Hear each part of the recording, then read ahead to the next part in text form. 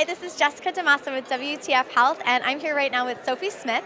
She is with the company called NABTA, and it is a women's health platform focused specifically on helping women in the Middle East and North Africa. So this is an incredibly interesting market. Tell me how you got into this. What exactly are you doing? What is the platform? Okay, so um, we're focusing on five problem areas of women's health. Um, the first is uh, the problem of infertility. The second is how do we make the transition to motherhood as smooth as possible. The third is how do we prevent the onset of chronic illness. The fourth is how do we lessen um, the effects of perimenopause. And then the fifth is how through early diagnosis do we prevent women dying of curable diseases.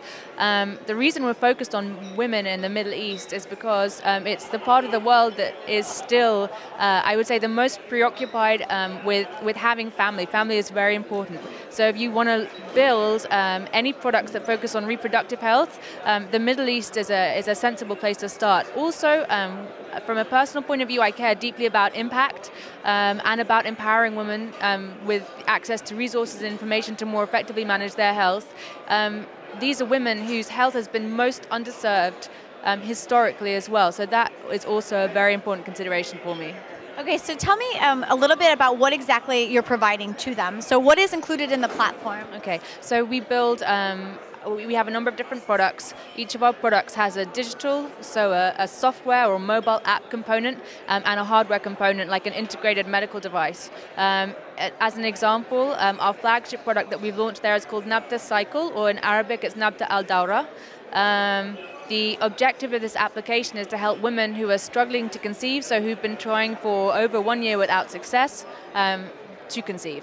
Okay, and so tell me about the hardware part of this. Is this like an implanted device, or what is this? Um, so it, in terms of the data that it provides you, this is a market-leading device. It's a vaginal device, which means that a woman inserts it um, overnight, you have to have a minimum of four hours worn data. It actually records um, temperature and also hormone levels constantly. Um, once you, uh, when you wake up in the morning, you remove the device, you upload the data, and it predicts ovulation with 99% accuracy. It tells you if you are going through an anovulatory cycle, and it also tells you whether you're suffering from a potential fertility issue. In future iterations, um, it will even tell you exactly what is wrong with your cycle from a hormonal perspective um, and recommend um, treatments that you could pursue. So using something like metformin to stabilize your cycle, um, or seeing a, a, a specialist um, and pursuing another line of fertility treatment. So in in the Middle East, like what type of uptake do you have for a product like that? I mean, I would imagine like I mean maybe it's a misconception, but I think we view that market as incredibly modest. Yeah, I mean it's so they are incredibly modest, but for that reason, um, having a device that you can use in the privacy of your own home is actually um, a much more attractive proposition. Um, so, for example, uh, in um, conservative Islam, um, it's believed that you shouldn't show any part of your person to a stranger except your face, your hands, and your feet, which is why many, many women wear an abaya with a niqab or a hijab to, to cover up. So if you are wearing um, a device on your wrist, like a smartwatch or something like um, the Ava um, device, uh, that's something that everybody would then see, um, and it would almost be like a red flag to say this woman has a fertility issue. Um, so actually, we've, we've had a hugely positive response to the device. Not, we haven't had a single person tell us, and including some very um, conservative women, that they wouldn't use it, and in fact, most have asked to be part of our pilot. Um, so the, the uptake and the response has been very positive. Now, tell me again the number of users that you have, because I find this just to be incredible. So go ahead. Um, so in a couple of weeks' time, we should have just over 1 million users on the platform.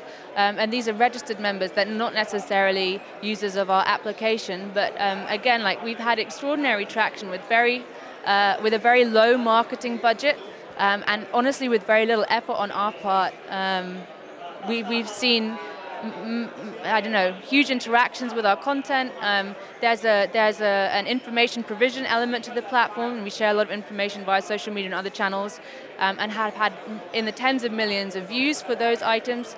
Uh, and yeah, takeoff has been good. That's amazing. And so, where are you guys at? I mean, you as a company, what are you what are you pursuing next? Are you raising around? Where are you at? Okay, so um, we want to bring the, the device at the moment. Um, this fertility device is manufactured in the UK. Um, we want to open a local manufacturing and research and development facility um, based out of the GCC. Uh, traditionally, um, money has not been invested into R&D because people like to invest in tangibles, if not like brick and mortar, so construction projects, um, at least in things that you can see and hold instantly. So R&D is a long-term investment and has been neglected as a result. So we are raising around. Um, we will be opening in, the, in about six to eight weeks, um, and one of the primary objectives is to establish this facility. That's fantastic. And I want to end really quickly with your thoughts on just women's health and really what the future is for this space, because you were speaking about it so eloquently earlier, and I'd like for you to just kind of talk to me about that again. Where do you think the future is headed for women's health? Okay, so um, I think I'd probably object, although I describe us as a women's health platform, to the concept of women's health, because when people think about women's health, they think about um, things relating to the erogenous zone, so to breast cancer um, or to any one of a number of reproductive illnesses, whereas um, actually uh, women's health just means healthcare that is relevant for the, for the female physique. Um, men and women are very different creatures biologically, and uh, there are so many um, things that have been under-researched because when the research was originally conducted, it was done in the context of, of men. Um, just as an example, about 1,900 white papers have been written on the subject of um, men's sexual pleasure, with, a, with three there or thereabout written on the subject of women's pain. So on things like endometriosis affecting um, intercourse. Uh, so there's a lot of work to be done. Uh, it's a huge um, globally untapped market opportunity. Um, and while we're focusing on the Middle East, we would look at some point potentially to move into emerging markets, anywhere where we can have the greatest possible impact on the greatest number of women. Sophie, this is incredible. What a, what a wonderful cause. How can people find out more about your product, your platform, the company that you're, you're with? Yeah, um, you can go to nabtahealth.com um, where you can see some of our content. You'd be directed to download the application. Um, we're active on social media, particularly on Facebook and Instagram, so you can search at Nabta Health. Um, and otherwise, uh, get in touch. I'm on sophie at nabtahealth.com and I'm open to emails. Fantastic. Well, thank you so much for joining us. It's a pleasure to hear about the work that you're doing. Really incredible. I'm very impressed. Thanks so much for joining us. I'm Jessica DaMassa here at HIMSS and Health 2.0 Europe with Sophie from NABTA. This is WTF Health. Thanks so much for joining us.